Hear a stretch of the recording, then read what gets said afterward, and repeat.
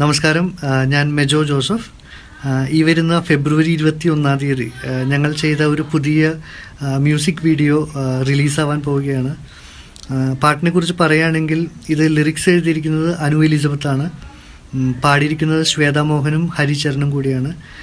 ഞാൻ ഈ അടുത്ത് ചെയ്തിരിക്കുന്നതിൽ വെച്ച് എനിക്ക് ഏറ്റവും പേഴ്സണൽ ഫേവറേറ്റ് ആയിട്ടുള്ള ഒരു പാട്ട് കൂടിയാണ്.